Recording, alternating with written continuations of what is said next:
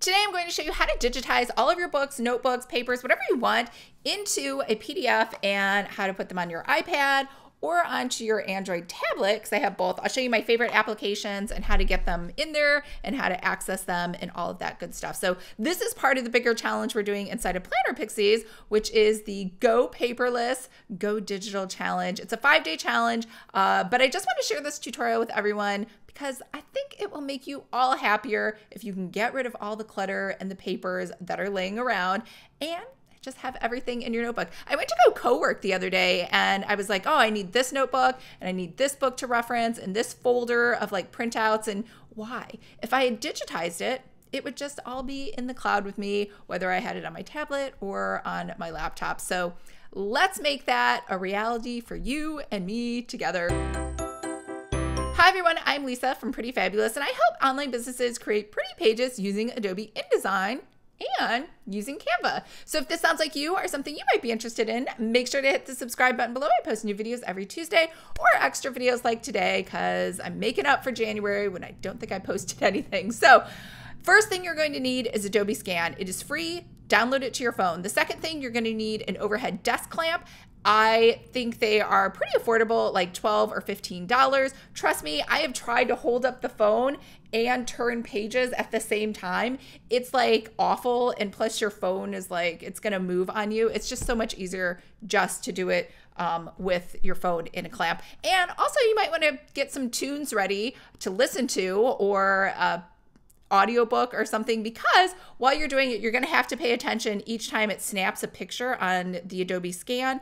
Uh, and so you can't really watch a TV show, but you could actually listen to something while you're doing it. All right, the first thing you want to do is open up Adobe Scan on your phone and make sure your phone is already positioned in the overhead clamp so that it's ready to go. All right, you're going to hit that little blue camera at the bottom and then it's going to automatically start scanning. So those little blue dots are trying to find the edges of each page. It's going to guess it for you, but don't worry, it's going to take a picture of everything that you see in this big square. And then once it takes a picture of that, it is going to um, give you the opportunity to crop it out later. I'll show you how to do that. Um, but just make sure each page is ready to go. It's going to show a little snapshot. It's going to move that page and then you need to be ready to turn that page so it can take the next shot. And you're just going to keep doing that until you reach the end of your document or book or notebook or whatever it is you want to scan. So when you're done, you're just going to hit uh, the icons at the left. Now, when you go through, you could flip these around. So this page, maybe I want to rotate it so it kind of looks, you really can't see it anyway. So I am just going to delete this page. Whoops. I'm to go all the way over here. I'm to hit delete, say yes. And now we have the regular pages. So I want these to rotate to the right. And this one we don't want. My hands are in it. Clearly I wasn't fast enough to move. So we're just to go ahead and delete that. Um, and then we're to go back. We're to rotate this one. And we'll just keep going through. Now I hit the save PDF at the top right. When you're ready, you're to hit share on any of your scan, each of your scans, click share link, and then you can share it to wherever you want. I'm to share it to my computer. Once it's downloaded to your computer, you can open it up here. It's going to, mine set, I mean, this is a setting I have to automatically open this in a browser. Um, so over here, I just hit the three dots and I download this file yeah, do not print this file. We just digitized it. So the whole point is to keep it as a PDF. Um, so you can flip through. I mean, you should have done this on your phone to make sure it was correct, but you can flip through again a second time. Just make sure everything's there. So as you can see, it's not perfect. Obviously, the left page is open. It's more like a snapshot, kind of like if you went to college in the 90s, like me, whenever professors wanted to share any books, they would uh, photocopy them and then staple them and then give them out. Uh, so anyway, so here is that file. Now this one I cut. When I say I cut, I scanned it in using the book feature and the book feature cuts it in half. It like has a dotted line and it magically guesses where the middle of your book is. So then it just downloads as one page. So that's another option. I actually don't prefer this. Um, I like it better the other way, but I just did this so that you could see it. Um, I like it better, even though it does look a little weird. Um, I like just seeing the spiral in the middle. I like seeing uh, the left and the right side together on one PDF. Uh, I did the same thing for this one. So you can kind of see all these. Now, this one, the Book of Poisons, I just wanted to show you this too. So this one, I didn't flip the pages in there. Um, so I have Adobe Acrobat Pro, so I can go in and manually flip these on my computer um, once I open up Adobe Acrobat Pro. So let me just show you that. All right, this is Adobe Acrobat Pro, and because I have Pro, I have this menu over here. I can create a PDF, combine files, edit, uh, signatures, fill and sign, export, all of these different things. And again, it's included with Creative Cloud. That's why I always say just go ahead and get Creative Cloud. But if we select organize pages over here, um, each page will be highlighted and we can go ahead and flip this over here. So now it's facing the right way. So if I wanted to, because I just want to do this very quickly, I could go ahead and say, I don't really feel like doing that on my phone. I could hold the shift key down, select all of those pages, and now they will all shift over all at once. So that in theory could save you a lot of time. And then once I say close, now if we go back to page one, we're going to see that it is the correct way that we need it to be. So it is open and I can read it with the left and the right instead of it being up and down like it was, I think later on. I did some, yeah. So over here, I forgot to flip them around. So just something to be aware of um, as you are going through. So don't worry if you don't do it.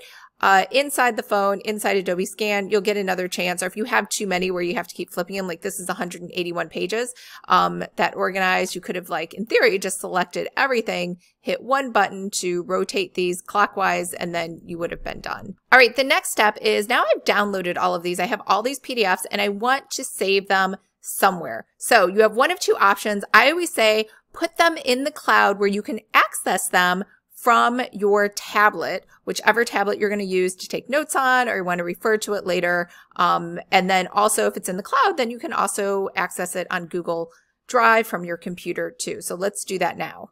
So over here in Google Drive, I have a folder called iPad. And the iPad is so that when I go in here, I just know right away things that I want to upload onto either my iPad or to my tablet. So um, I'm going to call this B um, new scans. And I'm not even going to bother uh, putting them into folders right now because what I want to do is open up my uh, iPad or tablet and be able just to kind of put everything in all at once. So I am simply going to drag and drop all of these over to here and you're going to see it's going to start uploading everything. It has 33 items to upload. So as soon as that is done, I'm going to head over to my iPad and organize it there. So I will meet you there. All right, I'm going to show you the iPad first. Um, Procreate and Clip Studio are really great for drawing and I think they're great for your different layers. But as far as for PDFs, I really just don't think this is the right app that you want to be in. And don't forget, if you're in Planner Pixies, you have all of these um, you have access to all of these in case you're trying to learn Procreate on your own. And it has, um, can't see it. It has all the layers inside of here if you want to start playing around with that. So anyways, uh, Procreate, Clip Studio, really for drawing. Freeform is new. I haven't really used it. It looks pretty basic. Um, let's go into Notability. This is my absolute favorite. And I love Notability because I can see everything at a glance over here on the left. And then I can instantly just add things right into wherever I want to.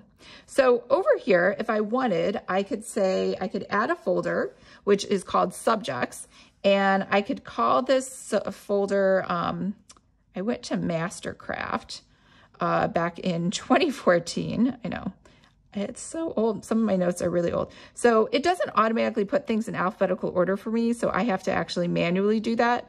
Um, but to me, if it's in alphabetical order on the left, it's just easier to follow. Now, for whatever reason, when I go to import something to Google Drive, it doesn't work for me. It might work for you, but for me to get things in here, I actually have to go to Google Drive uh, separately. Uh, oh, there it is. And I have to, oops, I have to open up each folder. So inside of here, I was already in there. Remember, I uploaded everything to that folder 100 iPad and into B uh, new scans. So if I want to look for Mastercraft, it's right here. I'm going to hit those three dots and I'm going to say open in. It's going to kind of download it, I think locally into cache. And then I'm going to say notability. Now I'm going to say create new note. And then over here, it's going to confirm with me the title, um, but it's going to ask me which subject, like folder I want it to go in, and I want it to go into Mastercraft. So now I can say import, it's done. And then let's head back over to Notability. And then inside Notability, now we can see Mastercraft is there. Whoops, I didn't need to do that. And we can open it up. We can skim through it and we can add in, yeah, there's my finger from holding it open. We can add in any notes. So notes, add here. So that's all you have to do for Notability. Now let's let me show you GoodNotes really quick. Um, so GoodNotes, same thing. You can create a folder. So we're gonna hit the plus sign and we can create a folder here and I'm gonna call this recipes. And here, we're gonna go ahead and add, we're gonna import that PDF, and I think this will work. Google Drive. No, it'll just tell me to open Google Drive. It wants my Face ID again. All right, so we're back in that folder. Um, so I have uh, cheesecakes. so I'm gonna, oh, I don't wanna open it. I wanna add it with the three dots again, open in. So same thing as we did before. And I'm gonna open this into GoodNotes and it's going to add it. So it's going to ask me for the location and I want it to go into recipes. So I'm going to say import to recipes. And now it's inside of recipes. Um, and I can just kind of scroll. Now this one does a left to right scroll. Um, the other one we saw did an up and down scroll. And I can add notes. Love this recipe or whatever I want to say. That's an awful heart. Now you know why I'm bad at drawing. Anyways, this is how you put stuff into uh, GoodNotes. So I can go in there and now I can see that there's my cheesecake um, recipes. All right, so let's head over to, now I do want to mention that people do like OneNote uh, just because it is device, it goes to Android and uh, iPad. I actually strongly dislike OneNote, so we're not going to go through that at all.